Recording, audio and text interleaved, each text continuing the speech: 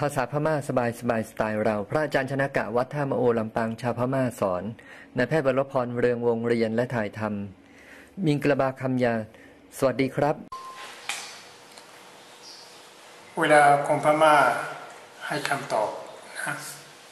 เวลาคนพม่าให้คำตอบก็คำลงท้ายมีอยู่คำว่าแม่หรือแดอย่างเช่น กิน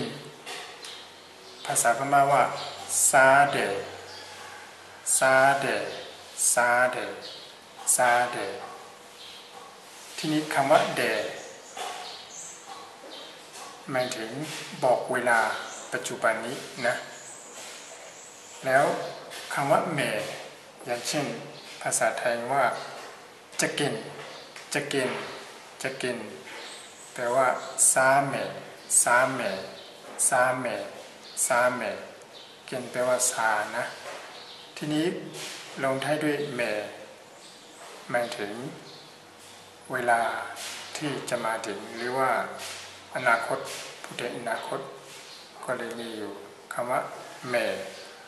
แม่หรือแดแดแดคำว่าแม่ภาษาไทยก็จะ แล้วก็คำว่าเดก็ภาษาไทยก็บอกเวลาปัจจุบันนะ